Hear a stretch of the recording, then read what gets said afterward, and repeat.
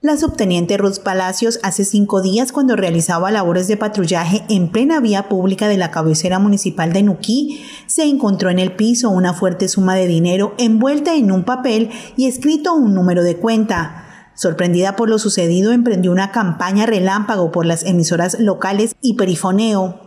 En este momento me encuentro entregándole eh, un dinero que encontré hace cinco días acá en el municipio de Nuquí. Son 690 mil pesos. Los encontré. Eh, se hizo en la prensa la comunicación del dinero que se había perdido.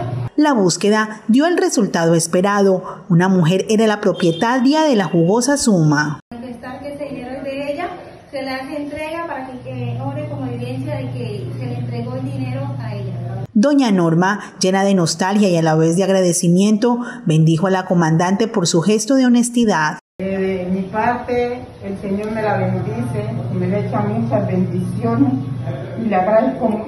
Esto nadie lo entrega, esto nadie lo entrega, plata nadie lo entrega. Dios la bendiga, mamacita. El Señor me la proteja de forma diferente. Gracias, niña. Con esta acción logró que doña Norma pudiera recuperar el dinero que con su esfuerzo y sacrificio había conseguido para enviarle a su hija que estudia por fuera del municipio. Andrea Estrella Oliva, CNC Noticias.